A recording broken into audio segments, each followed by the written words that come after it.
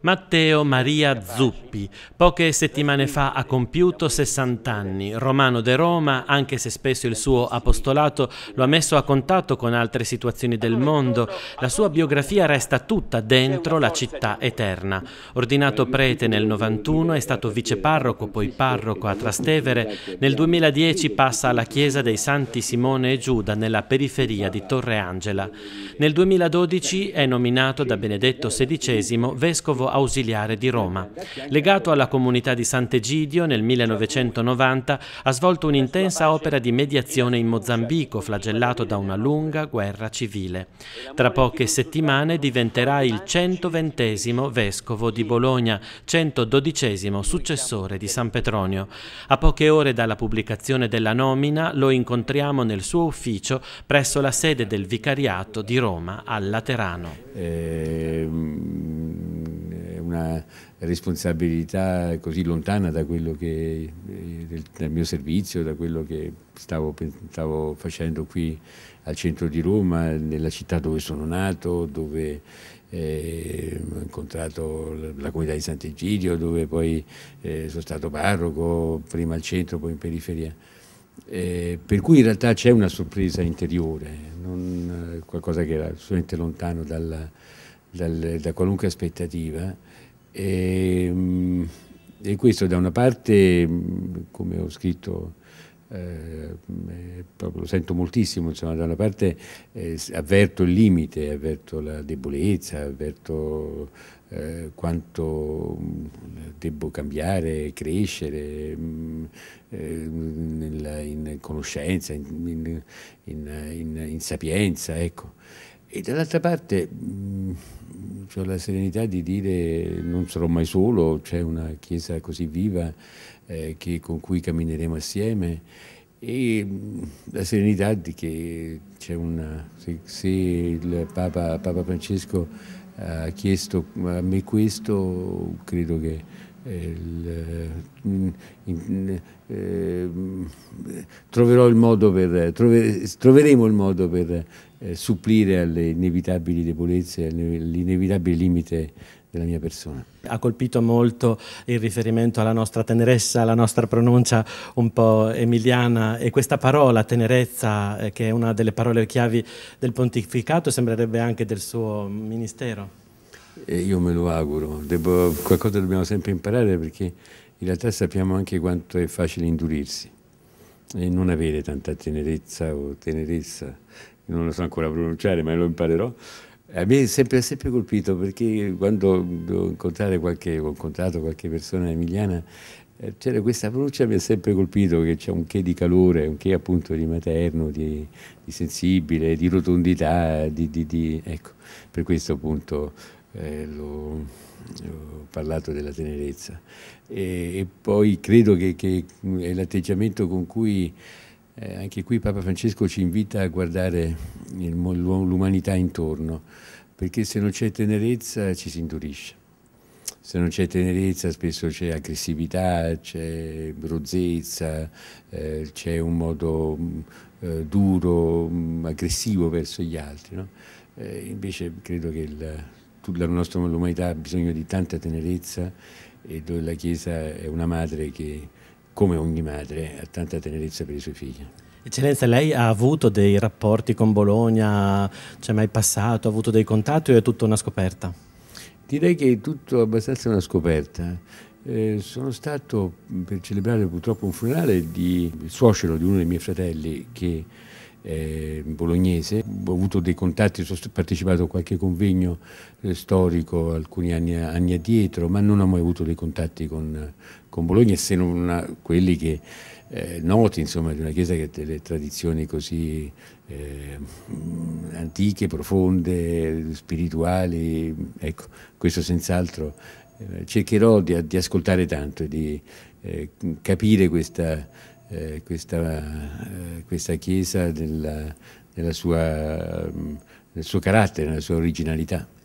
E era un giorno molto desiderato questo, molto desiderato prima di tutto dal cardinale Caffarra che sentiva il peso della, insomma, del suo stato di salute, ci ha anche confidato che aveva chiesto addirittura anticipatamente rispetto al compimento degli anni, invece ha dovuto avere una lunga proroga, ma c'è attesa anche da parte dei preti e della gente. Eh, sì, no, penso che l'ho capito anch'io del cardinale Caffarra quando ci ho parlato questa mattina mi ha detto eh, mi hanno nominato amministratore, non credo di rivelare nessun segreto, credo che lui non volesse, io invece ho detto che ero molto contento perché vuol dire che così lui continua eh, in queste settimane eh, a, con, a, esercitare il suo ruolo così importante e il suo servizio per la Chiesa.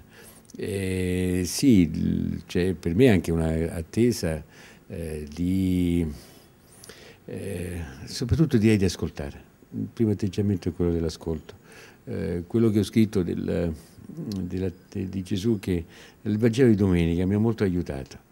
Eh, mi ha molto aiutato sia perché la domenica ci aiuta tutti, eh, davvero dà il, il, senso, la luce al, al, ai giorni della settimana.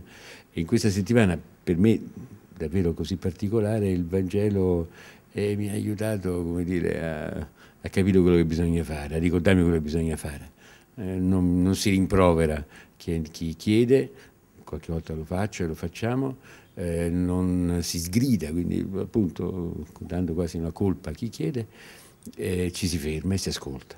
Quella domanda bellissima di Gesù, che vuoi che io faccia per te, che vuol dire che cosa c'hai, che cosa ti posso fare. Quindi non è soltanto diciamo, un analista che, eh, che, che, si mette, come dire, che, che osserva freddamente, ma è un, un, ascolto che ha un senso di partecipazione, di, di, di comunione, di condivisione. E io spero di poter vivere questo. L'anticipazione che stampa, da parte della stampa probabilmente ha un po' banalizzato questo momento, eh, rendendolo poco significativo l'annuncio, eh, Eppure questo è un momento spirituale, intenso, perché viviamo anche il mistero della successione apostolica, ci connette a Cristo, ci connette agli apostoli. Eh, in questo momento così solenne proprio, eh, cosa si sente di chiedere alla Chiesa bolognese? Dunque di vivere assieme effettivamente questo senso di successione. Eh, molte volte su tante cose ognuno pensa che la vita inizia con lui e finisce con lui, è ovviamente è un errore tragico di prospettiva. Siamo tutti figli di una storia, ereditiamo tanto, io personalmente penso che ho ereditato tantissimo e ho paura che sono un po' come la, la, la, mia generazione che ha consumato tanto e lascia poco a chi viene dopo. E questo lo, con, lo sento con un, veramente un profondo senso di debito. Noi abbiamo ereditato la Chiesa eh, che, che, ha voluto, ha sognato, ha sofferto per il concilio, pensa a Bologna, eh, la figura del cardinale Caro con tutta quella sua passione pastorale e insomma spesso, non lo dico per Bologna, lo dico per me chiaramente, no? eh, l'abbiamo anche sciupato tanta ricchezza. Eh, insomma credo che, ecco, che, che eh, dobbiamo proprio eh, provare a spendere tutto quello che abbiamo per, eh, per rendere bella questa, eh, questa, questa Chiesa, questa madre che ha bisogno di tutti quanti noi e che mi sembra che abbia tanto da dare agli uomini della nostra generazione. L'ultima cosa, proprio questo, questo noi che ha detto, perché è quello che colpisce molto del suo messaggio, ha dato l'impressione che non arriva un eroe solitario che deve portare avanti la sua vocazione, la sua missione, ma ci ha subito tutti intruppati in un grande noi, nel senso che siamo davvero un popolo con le diverse vocazioni, eh, con questa missione di annunciare il Vangelo del Regno alla, alla nostra gente, alla nostra terra eroe solitario sarà per quel che di pigrizia romana e, no, e, poi di consapevolezza dei propri limiti, proprio non, ma poi mi sembrerebbe sbagliato proprio spiritualmente eh, e anche umanamente. E credo che uno dei grandi regali del Concilio, insisto, molto sofferto, è stato quello della Chiesa Comunione. Eh, io credo tanto alla comunione, la comunione non soltanto come fine, ma proprio anche come metodo è soltanto la comunione che può permettere a tutti quanti di valorizzare il proprio ruolo, di eh, capire il, il, proprio ruolo, quello, quello che può eh, servire agli altri e anche che ci impegna a crescere. E per questo penso effettivamente a noi, eh, non esiste la paternità senza la fraternità. Eh, Papa Bergoglio quando si è affacciato eh, alla, per la prima volta ha chiesto eh, di pregare per lui, ha chiesto per certi versi che tutta l'assemblea, la, la, folla, che direi piuttosto l'assemblea, eh, chiedesse a Dio di benedirlo. Eh, voleva dire stabilire subito eh, quello che nel, discorso della, nel cosiddetto discorso della Luna di Giovanni XXIII era quando Papa Giovanni disse ma io chi sono? Conta nulla. Eh, un, un fratello che la grazia di Dio ha chiamato ad essere padre. Eh, fraternità e paternità, questo me lo sono ricordato appunto pensando oggi, a distanza di più di 50 anni, eh, che soltanto questo dono di comunione, eh, che la Chiesa è questo dono di comunione e che e questo è anche quello che mi dà serenità, di, certamente di poter eh, condividere tanto con una Chiesa così tanto ricca, eh, così tanto piena di, eh, di, di, carismi che saranno per me la, la, una, una forza e che spero di aiutare a mia volta.